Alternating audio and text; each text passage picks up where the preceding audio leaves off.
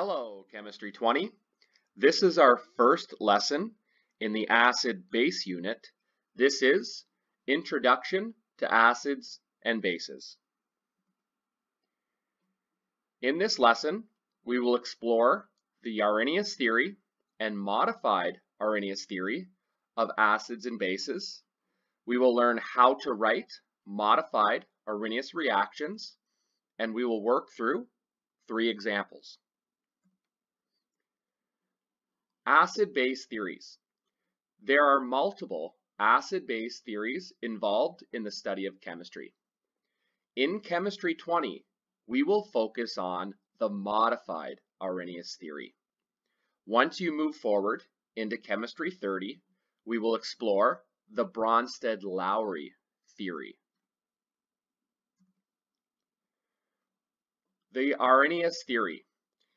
It states that soluble ionic compounds dissociate into ions when placed in water. And this is something we've seen before. For example, if we have sodium bromide, which is soluble in water, it will then break apart into its ions, Na plus and Br minus. Bases dissociate into a cation and the hydroxide ions when placed in water. According to the Arrhenius theory, bases always contain an OH, therefore will always be an ionic compound, so they will follow the same pattern. NaOH is soluble in water and will dissociate into its ions Na plus and OH minus. Acids ionize into hydrogen ions and an anion when placed in water. For example, when we have HCl, which is a strong acid in water, it will ionize into its ions, H plus and Cl minus. Arrhenius theory errors. There are many problems with the Arrhenius theory, and it cannot explain a variety of processes. For example, the reaction between water molecules, which produces H3O plus and OH minus. And more importantly, it can explain basic substances that do not contain OH minus.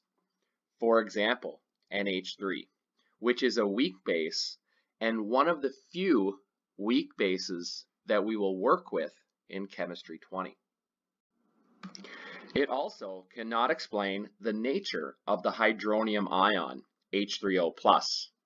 In the Arrhenius theory, acids ionize into H ions, but the pH of any solution is calculated using the formula, the negative log of the concentration of H3O+. That brings us to the modified Arrhenius theory, our focus in Chemistry 20.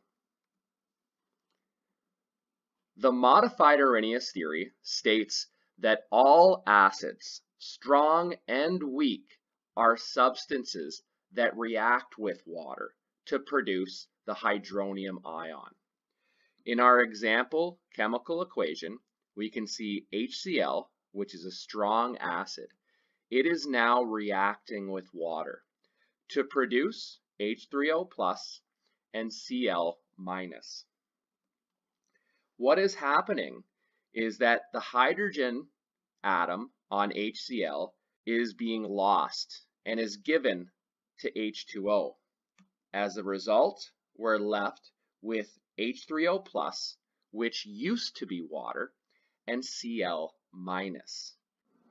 We can think of each hydrogen atom as having a plus one charge.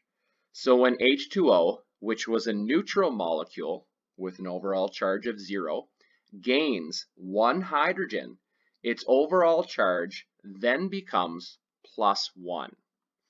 And since we started with the molecule HCl, which was also neutral and had a charge of zero, when we lose a hydrogen, we lose a plus one charge. As a result, we have Cl minus, which now has a minus one charge. We can think of acids as a species that gives a hydrogen to water. Modified Arrhenius bases. Strong bases still dissociate in water to produce OH-. Nothing has changed in the modified Arrhenius theory with respect to strong bases. They're still an ionic compound which dissociates in water to produce the ions and in this example will produce Ba 2 plus and 2 OH minus.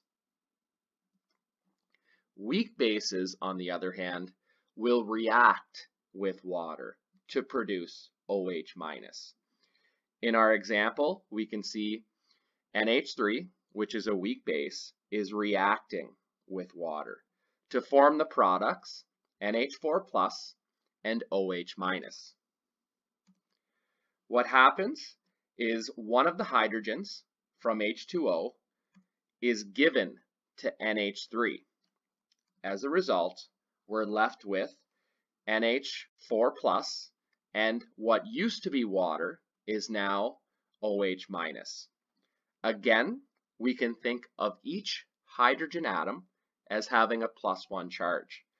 Originally, NH3 had an overall charge of zero, but once it gained another hydrogen, its now overall charge is one plus.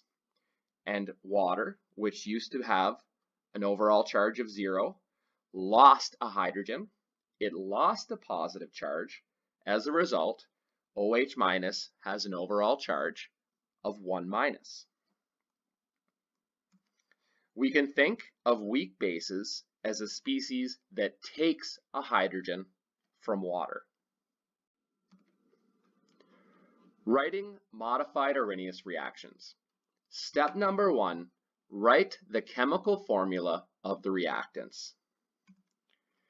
If the substance is first provided as an ionic compound, dissociate that compound and ignore any group 1, 2, and 17 ions. They will not be included in the chemical reaction. Remember, acids and weak bases react with water. And on the rare occasion, use 2 moles of H2O to react with every non-metal oxide. For example, CO2, non-metal oxide. Step number two, note the evidence and write the first product. If the solution is acidic, the first product will be H3O+. If the solution is basic, the first product will be OH minus. Step 3. Determine the last product by combining the atoms and charge required to balance the equation. Remember, acids lose a hydrogen to water. Strong bases just dissociate in water.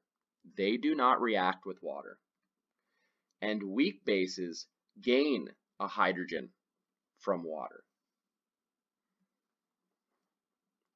Example number one. Potassium hydrogen carbonate is added to water and the pH is 6.3. Write the modified Arrhenius equation for this evidence. Pause the video and attempt this example.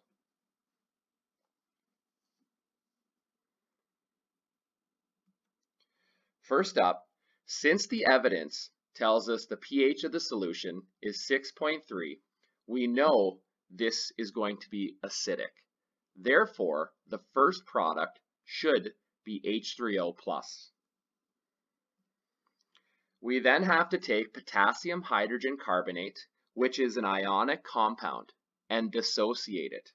And then we can cancel out K+, which is a group 1 ion. We're then left with our first reactant HCO3 minus. Since the solution is acidic, H3O minus is an acid, and we know it is a weak acid. So we ha will have HCO3 minus plus H2O. It is going to form H3O plus. Remember, an acid loses a hydrogen to water. As a result, we are then just left with CO3, but now 2 minus. Since we lost a hydrogen, we lost a positive charge. What used to be minus 1 is now minus 2. Example number 2. A student records the pH of a sodium carbonate solution to be 8.3. Write the modified Arrhenius equation. Pause the video and attempt this example.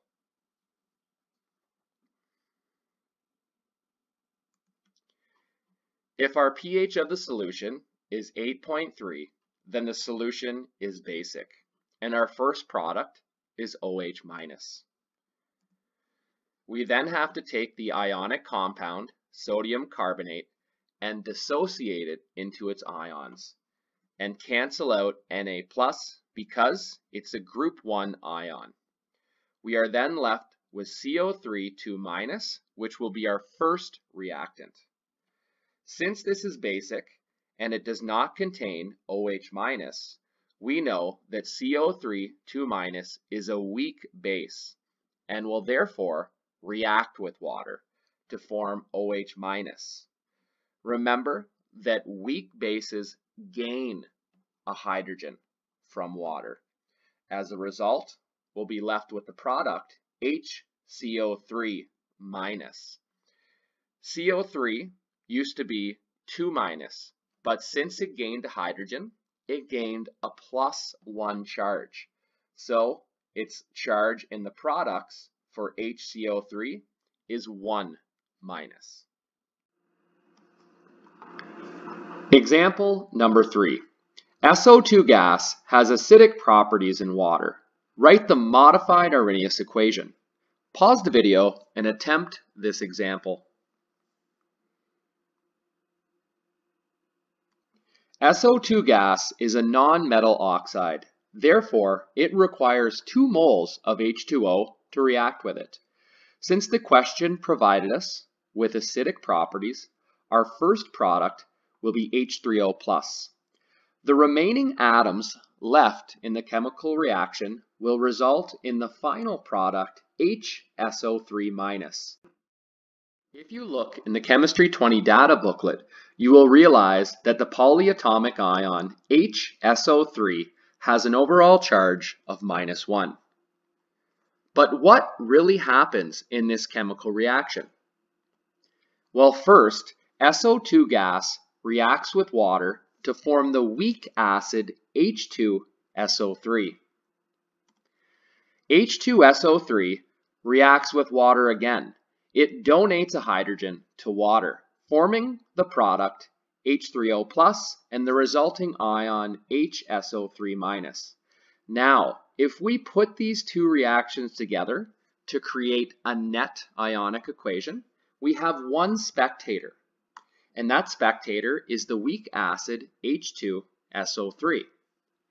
As a result, when we put the two reactions together, we're left with the net one SO2 gas reacts with two H2O liquid, forming one H3O plus and the ion HSO3 minus.